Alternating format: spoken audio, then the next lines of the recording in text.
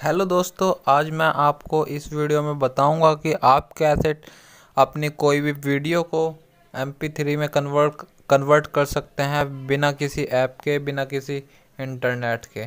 चलिए स्टार्ट करते हैं। आपको क्या करना होगा, आपको अपने ई एस फ़ाइल एक्सप्लोरर में जाना है। या आप अपने फ़ाइल मैनेजर में भी जा सकते हैं। उसके बाद आपको जहाँ भी आपकी कोई भी वीडियो है, आपको उसे के अंदर जाना है। जैसे कि मैं यहाँ पर क्लिक करता हूँ, यहाँ पर ये वीडियो है।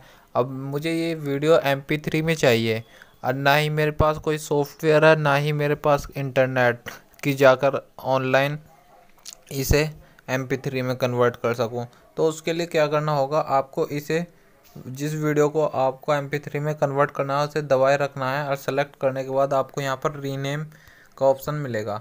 आपको रीनेम पर क्लिक करना है, उसके बाद आपको एम पी फोर को हटाकर एम पी थ्री आपको बस फोर को हटाकर थ्री टाइप कर देना है। और उसके बाद इसे ओके प्रेस कर देना है। ओके जैसे ही प्रेस करेंगे तो आपके सामने वो वीडियो एम पी थ्री में कन्वर्ट हो जाएगी। ऐसे ही आप कोई भी वीडियो को एम पी थ्री में कन्वर्ट कर सकते हैं बड़ी आसानी से, बिना इंटरनेट के, बिना किसी एप्लीकेशन के।